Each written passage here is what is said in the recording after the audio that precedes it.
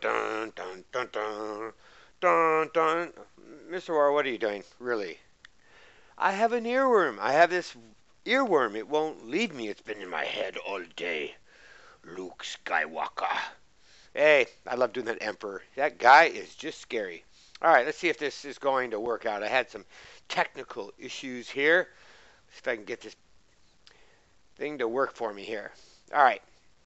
It says the objective is we're going to be using tape diagrams to model fractions as division. Uh, it's like a step up of what we've been doing. We were actually interpreting fractions as division. But we are going to do some fluency practice first. Okay. Is this not set right? Let me see. All right. And let's get you out of there. Thank you for getting out of the way. All right. Let's go ahead and get started with a little bit of fluency. Fluency. So basically what I'm going to be doing is I'm going to be writing like this. And at home, you would say, of course you would say one-tenth. Okay? That is one-tenth, and that is written like that. Okay. Now how would you say that as a decimal? Did you say 0.1? I hope so. That would be one-tenth. You get the idea here. We could do a lot of these. Like this one. That's right. That would be a tenth. Very good. With an S because it's plural and as a decimal. Oh my goodness. I think I heard somebody out there say 0.8, but I'm not sure. If I'm hearing things, I'm probably, ooh, one should worry. Yes? Okay. I have that's right, one hundredth, which is equal to. I mean, as a as a well, actually, you know what? We could just write it. The word form. There you go. And it sort of looks neat. All right. And then, of course, is a decimal. That's right, 0, 0.0. Oh, come on, be nice. 0 0.01. Okay, cool. Yeah, I had some problems, and look at this doesn't want to stop. Don't do anything with that. Thank you. Now, be nice. All right. Now we're going to go ahead and do some others. Let's just flip the page because I don't have another page, a little fluency here. Come over here again and grab a pen. All right, let's see how we do with red. See if red works out for me here. Oh, no, don't do that. Okay. Last time I lost my cursor and I couldn't see it. So one quarter is equal to how many hundredths? Hey, you guys are good. That's right. It's 25. All right, and as a decimal, that is? Okay, did you say 0.25? Good. This is good fluency, good fluency. Let's do another one like, ooh, let's do, we could do some really, really hard ones. For example, like 11 20ths. Okay, is equal to, oh my goodness, it's challenging. Okay, did you say 5500s? I hope so. Because 20 times 5, right, will give you 100, and then 11 times 555. So as a decimal, yes, I don't know why it does that. Okay, should be, you got it, 0 0.55. Nice. All right.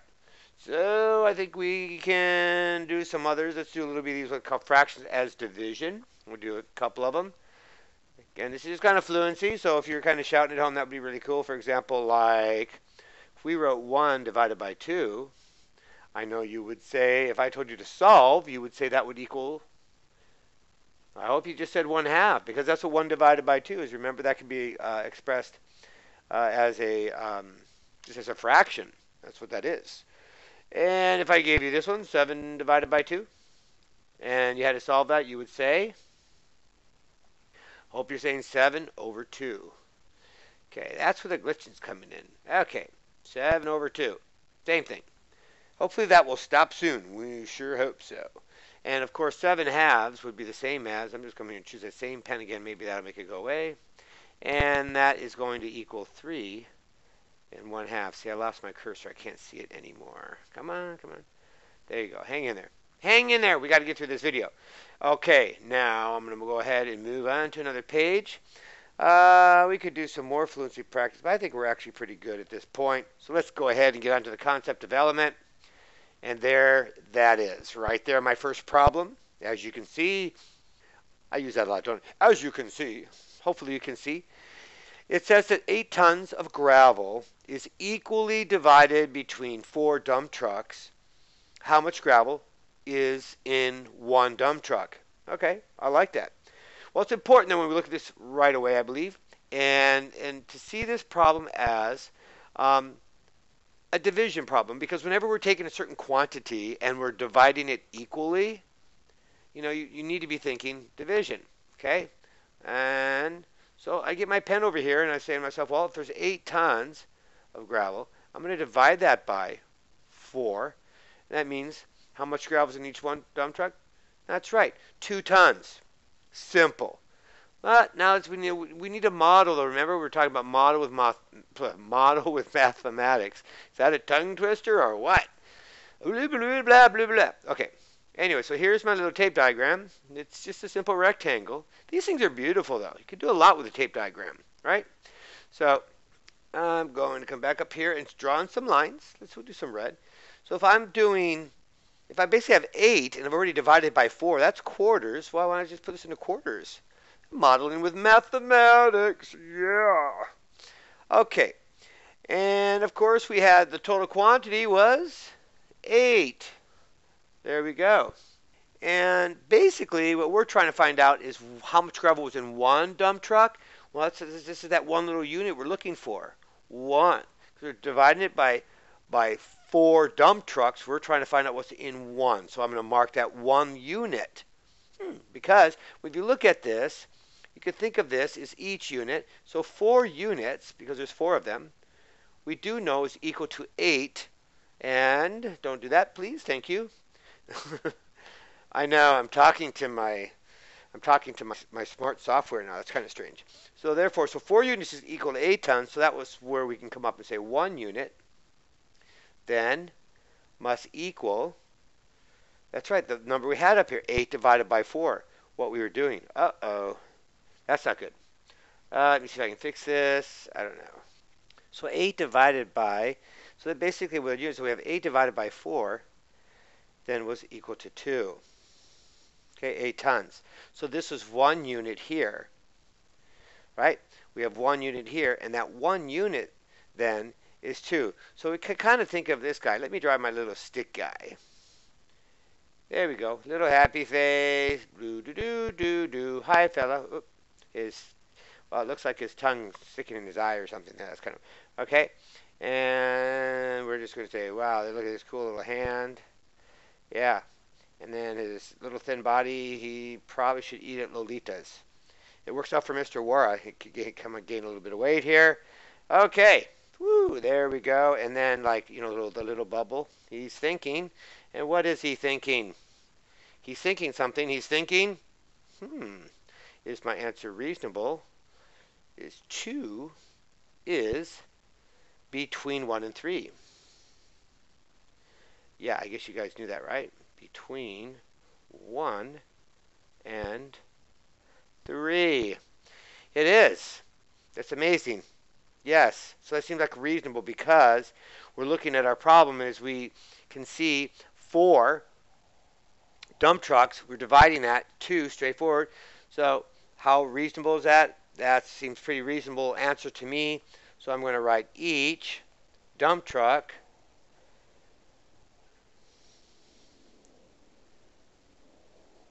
held two tons. Okay? Of gravel. I won't write that part. You get the idea. And um, that will cover this first problem here. We can also do a check, which would be, uh-oh. We can also do a check by, um, well, we could take the 8 divided by 4, which equals 2. All right, that's pretty straight. But we're going to go on to the next page because we have yet another problem. Now we have 5 tons of gravel is equally divided between four dump trucks. Okay, not quite as easy as the last problem that we had uh, because the numbers aren't very compatible. Four, I mean eight. I'm sorry, eight. What was it? Eight and uh, four compatible because of factors, and then four times two is eight. But here we don't have that. We have five and four. So again, writing our division problem down would be five tons, right, divided by four Okay, but we do know that's going to equal 5 fourths. We already learned that, which is the same as 1 and 1 fourth. So we, we've already solved the problem. right? Now let's go ahead and, and show it modeling mathematics. Okay, and bring this thing down. I don't know, for some reason it seems like he should be a little fatter. There we go. And then I'm going to go ahead and just use a regular pen, I suppose. Um, grab one of these. Yeah, I think red will work for me. And we have a total here, don't we? That's right. That whole total is 5. You have to be able to do this on our assessment. So then we would want to divide this um, if this whole thing is 5. But we're not going to divide this into fifths because basically we're dividing it into fours. We want to go ahead and do that into fours. Just like so. That's the 5 tons for 4 dump trucks. Again, this one here becomes that one unit. That one unit or that one dump truck. And we just need to determine what that is. Well, what is that? Well, we know that four units, and that's how many units we have here one, two, three, four. It has to equal the five, right? The five tons. And again, we come back to, well, well, then what's the one unit? That's what we need to determine, okay? And the one unit here, well, we just already determined is five fourths. Well, if one unit is five fourths, then that does mean that that one unit in here is 5 fourths. Now, if this unit is 5 fourths, then that would mean that each one of these units is 5 fourths. Okay?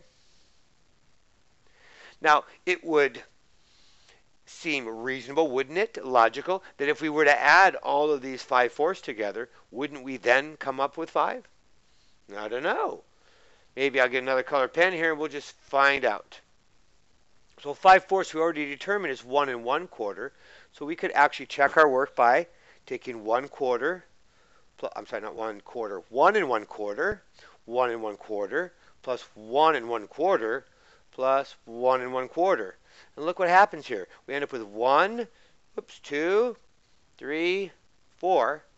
And then we have this 1 quarter, so that's 2 quarters, 3 quarters, 4 quarters. We actually end up with 5 when you add those all together because that makes a whole. Beautiful. How you have to love math. Okay. You have to. I'm telling you. All right. Going on to the next problem here. We have a three meter ribbon is cut into four equal pieces. See how much easier this is getting easier and easier each time, don't you think? I think it does. Just get easier. At least I think so. Now we're going to come down and, oh, I need to bring down my tape diagram. Or you know what, actually we were going to do the first. Let's go ahead and write our division equation. If I can get myself a pen. Come on, pen. Okay. 3 divided by, needless to say, we do know that 3 divided by 4 is 3 quarters. Okay, we're going to bring down our tape diagram that's so conveniently located up at the top left. And I'm going to open this guy up a little bit, I think, like so. All right. And this is really like, been there, done that. Doesn't it seem like we've already done this before? Yeah, we're just going to go ahead and label that hole as 3 meters. I'm just going to put 3m, the m for meter. And then it says it's cut into four equal pieces. Really kind of been nice that we've always been able to divide into fourths.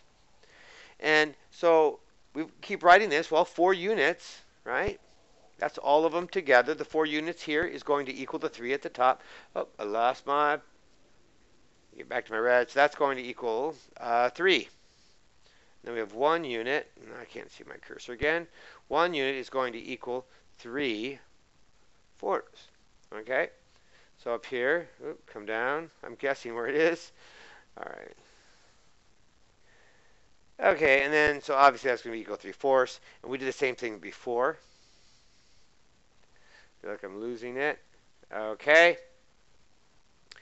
Now, we can check our work. And we can do it this way. And we're going to do this one just a little bit different. Okay. We're going to say 4, okay, times 3 quarters. Well, that's like say, saying 3 quarters, okay, plus 3 quarters, plus 3 quarters, He's kind of laughing because I don't know where I'm writing. I'm writing blind. Okay, three quarters, three quarters, three quarters, and three quarters. We can add all those together. Now, let me see where my point is. Oops, it's up here. Ooh, this is kind of fun. It's like I'm in the dark. Okay, so you can see all the denominators are the same, so we can add those. 3 fourths and 3 fourths, well, that's 1, 1 and a half. So that's like saying over here, plus 1 and a half over here. And now we have our 2, and then plus 2 halves is going to be 1. Where we have our 3. Oh, I'm telling you, this is wonderful. Wonderful. Okay, you know, there are a lot of problems that I could do. But I think that's where maybe I'll take a little bit of a break, possibly. Um, ooh, I don't know if you can tell what that is. Yeah, is. You got it. Well, you're good. And it should disappear with a little lock sign there. Kind of strange. So let me go ahead and just do one more thing here because that's can't find where I'm at here. And I don't know. Dun, dun, dun, dun, dun, dun. hey, I had to do that. Where did that come from? I don't know.